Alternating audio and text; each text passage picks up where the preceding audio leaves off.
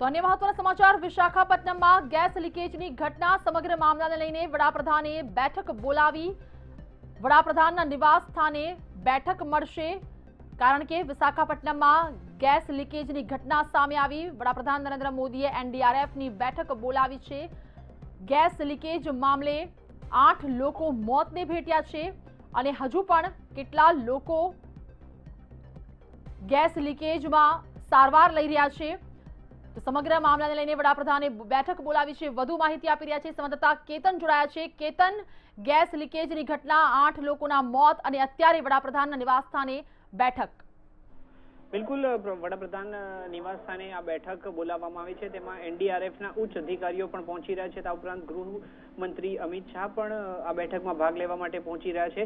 અને અત્યાર સુધી જે માહિતી મળી છે કે ખૂબ જ વધારે પ્રમાણમાં ગેસ લીક થયો છે અને તેના કારણે આઠ લોકોના મોત થયા છે. એકસો સિત્તેર લોકો બેભાન અવસ્થામાં મળી આવ્યા હતા. રોડ ઉપર જોવા જઈએ તો ઘણા લોકો બેભાન થયા છે. કેટલાક લોકો ગટરની જે બાજુની કેનાલ હતી તેમાં પણ બેભાન અવસ્થામાં મળી આવ્યા હતા. તો બીજી તરફ ત્રણ હજારથી પણ વધારે લોકોનું અત્યાર સુધીમાં રેસ્ક્યુ કરવામાં આવ્યું છે.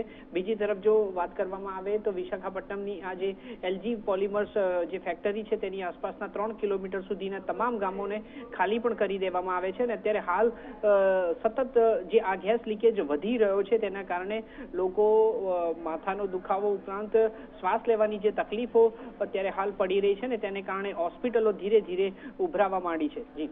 જી જી. કેતન, અહીંયા સવાલ એ પણ થઈ રહ્યો છે કે આટલી મોટી માત્રામાં ગેસ લીકેજ અને તે પણ ઝેરી ગેસ એટલે હજુ પણ શું મૃત્યુ આંક વધી શકે છે? લોકો વધુમાં વધુ બેભાન થઈ રહ્યા છે. બિલકુલ ઝેરી ગેસ ના કારણે મૃત્યુઆંક વધી શકે છે, કારણ કે અત્યારે હાલ જે પ્રકારની સ્થિતિ છે, લોકો એકસો સિત્તેરથી વધુ લોકોને હોસ્પિટલમાં એડમિટ કરી દેવામાં આવે છે. તો બીજી તરફ દસ વાગ્યાથી, એટલે કે ગઈકાલે રાત્રે દસ વાગ્યાથી આ ફેક્ટરીની આસપાસમાં ગેસ લીકેજની ઘટના સામે આવી રહી છે. અને અત્યારે હાલ જે નરેન્દ્ર મોદી વડાપ્રધાને જે ટ્વીટ કર્યું છે કે તેમણે ગૃહમંત્રીની ઓફિસના અધિકારીઓ સાથે વાતચીત કરી છે ઉપરાંત ગૃહ મંત્રી અમિત શાહ સાથે પણ વાતચીત કરી છે અને તાબડતોડ અત્યારે હાલ કેન્દ્રથી એનડીઆરએફની ટીમ પણ મોકલવામાં આવે તેવી હાલ તજવીજ હાથ ધરવામાં આવી છે. જી. જી જી. કેતન, આભાર. તમામ માહિતી આપી તે બદલ તો એનડીઆરએફની ટીમ ખાસ મોકલવામાં આવે તેવા પણ અહેવાલો પ્રાપ્ત થઈ રહ્યા છે, કારણ કે બેઠક બોલાવાઈ છે. વડાપ્રધાનના નિવાસ સ્થાને આ બેઠક બોલાવાઈ છે કારણ કે વાત છે ગેસ લીકેજની. ગેસ નહીં, પરંતુ ઝેરી ગેસ લીકેજની ઘટના જ્યારે વિશાખાપટ્ટનમમાં સામે આવી, અત્યાર સુધી આઠ લોકો મોતને ભેટ્યા છે અને ઘણા લોકો બેભાન અવસ્થામાં રસ્તા પર સૂતેલા પણ દેખાયા કારણ કે જે ગેસ લીકેજની ઘટના અને આ જ ઘટનાથી ઘણા બધા લોકો સારવાર લઈ રહ્યા છે. તેમ છતાં પણ હજુ મૃત્યુઆંક વધે તો પણ નવાઈ નહીં, કારણ કે મોટી માત્રામાં લોકોને અસર થઈ છે ઝેરી ગેસની. અને આ જ તમામ વચ્ચે વડાપ્રધાન નરેન્દ્ર મોદીએ પોતાના નિવાસ સ્થાને બેઠક બોલાવી, એનડીઆરએફની બેઠક બોલાવી.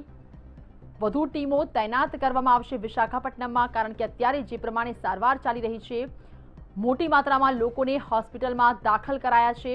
અને અત્યારે તમામ પ્રકારની સેવાઓ ઉપલબ્ધ છે. સારવાર આપવામાં આવી રહી છે. તો ટૂંક, થોડાક સમયમાં જ વડાપ્રધાનના નિવાસ સ્થાને આ બેઠકનું આયોજન અને આ જ બેઠકમાં અતિ મહત્વના નિર્ણય લેવાશે. કારણ કે વાત એનડીઆરએફની ટીમની છે. તો ટીમો પણ તૈનાત કરવામાં આવે તેવા અહેવાલ અત્યારે પ્રાપ્ત થઈ રહ્યા છે. તો સૌથી મહત્વના સમાચાર આજે દેશ માટે, કારણ કે વિશાખાપટ્ટનમમાં જે ઘટના બની છે, અત્યંત દયનીય ઘટના. આઠ લોકો આ ગેસ લીકેજની ઘટનાથી મૃત્યુ પામ્યા છે. તો અનેક લોકો બેભાન અવસ્થામાં છે. સારવાર લઈ રહ્યા છે. હોસ્પિટલમાં તમામ લોકોને દાખલ કરવામાં આવ્યા છે. તો આસપાસના તમામ જે વિસ્તારો છે, તે પછી સ્થાનિક વિસ્તાર જ કેમ ના હોય, તમામ વિસ્તારને ખાલી કરી દેવામાં આવ્યા છે. કારણ કે જે મૃત્યુ આંક છે, લોકો જે ઇન્જર્ડ થાય છે, તેનો આંક વધે નહીં, તેનું ખાસ ધ્યાન રાખવામાં આવી રહ્યું છે.